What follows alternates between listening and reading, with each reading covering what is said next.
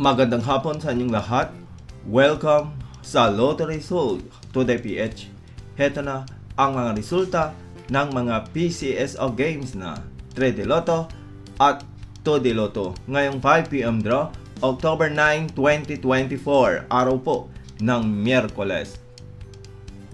Para sa resulta ng 2D Lotto, ngayong 5pm draw October 9, 2024. Heto ang mga lumabas na numero 19 at 24 in exact order.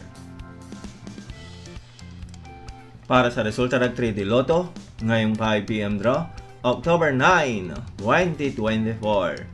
Heto ang mga lumabas na numero 2, 0, at 9 in exact order.